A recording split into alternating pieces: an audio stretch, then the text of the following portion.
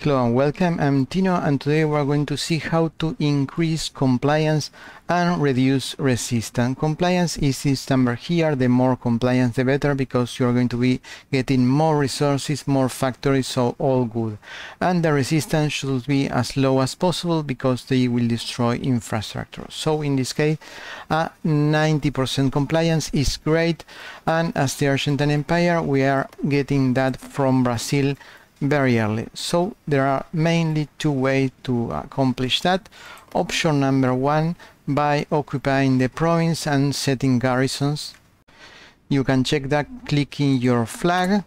Below the flag you will see the first tab and in that tab you have all the occupied territories and the first one is the model of the template. So usually you will put there cavalry but you can pick any template.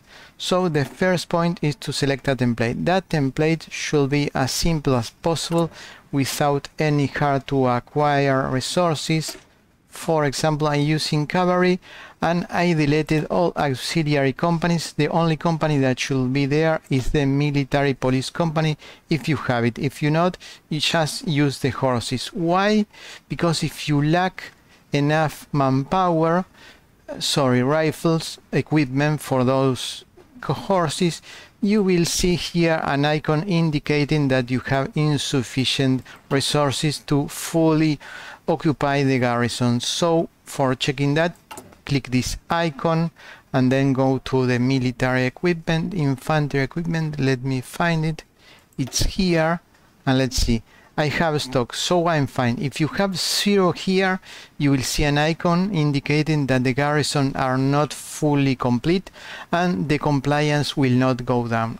Also if you go back again to the screen you will click here and you can pick a policy. The lower you go the more resources you are going to get, but the compliance is going to decrease very very slow so to decrease it faster you should go with the civilian that is the softer kind of occupation but you will get very little resources for them early on this is the option one the traditional way the other option is to prepare a collaboration government that will make you that when you occupy the territory you will get instantly a 90% compliance like I did with Brazil. Now I'm doing that with Mexico.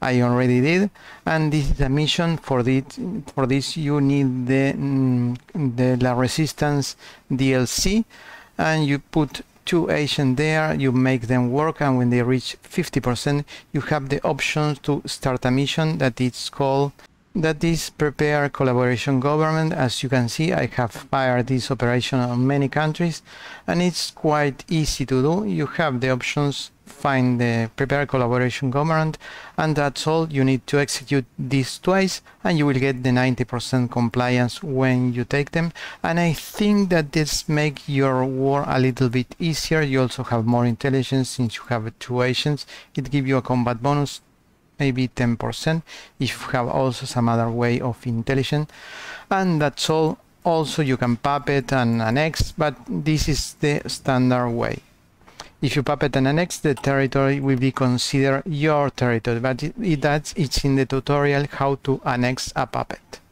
Thanks for watching, and if you have any question, please leave it down below, and bye bye.